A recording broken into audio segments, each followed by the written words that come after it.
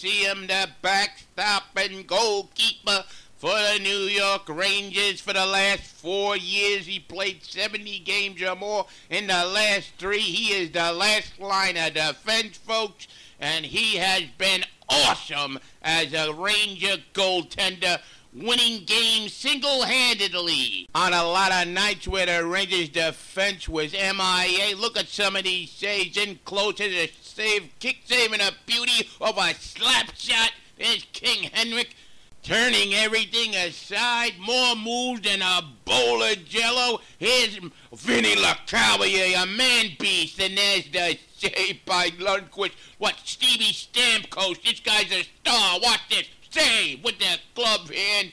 Look at the concentration on this one as he's just in a Ricky Nash. Oh my! Big Rick Nash is denied by Lundqvist, and here comes Malkin. And the save. Evgeny never had a chance. The only thing Hank likes better than winning is talking hockey on and off the ice. Henrik has a great look at these saves. Holy moly, he's like an octopus out there. They like to say the kid has a weakness on the glove hand, but watch some of these saves, folks. He doesn't look too weak to me. You got time to set, you can stop anybody in this league if you're Hank Lundqvist.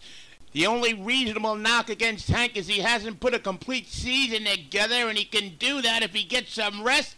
If the Rangers and Tortorella can get him into the 60-65 gameplay range, that would be great. Look at Malkin. Say, especially with the Olympics coming up. Here's Malkin with some magic denied by Lundqvist. Hank is getting paid almost seven million per year to tend the net for the Rangers, and let me tell you, folks, he's worth every penny.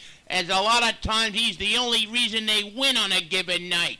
Here's P.J. Axelsson. You're denied. Axelsson was so frustrated he left the NHL after that save. There's another highway robbery by Lundqvist. I'm not telling you anything new or showing you anything new. I'm just reminding you to appreciate the guy we got between the pipes. A lot of teams don't have this, but the Rangers uh, most years have been fortunate to have steady, good goaltenders. Look at them robbing caps left and right in the playoffs. We all remember this, folks. The only reason it went to seven games was Henrik Lundqvist.